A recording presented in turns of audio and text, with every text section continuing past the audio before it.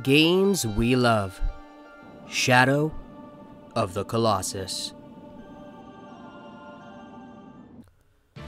Shadow of the Colossus is the definition of a cult classic and a strong example of how video games can be a form of art. There is an aura of mystery surrounding the entire game, with an almost barren open world for the player to explore. The main focus of this game is to track down the various colossi and defeat them. Simple enough, right? You ride out on Argo and use a gleam of light that leads you to each giant. The colossi in this game are truly remarkable, and while this footage is from the PS4 version, it is incredible to think how forward thinking this game was when it came out on the PS2 in 2005. Almost every battle against a Colossus is epic, with a gorgeous soundtrack and unique battle strategies that truly add to the sense of urgency and tension.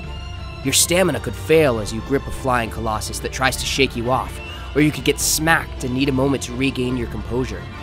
One of the things that makes this game so beautiful comes in the ability to make the player think. Instead of the triumphant ending to battles, they almost seem somber. While I am not going to uncover any mysteries in this video, I urge you all to check this game out and really pay attention to how your actions influence the main character and the world.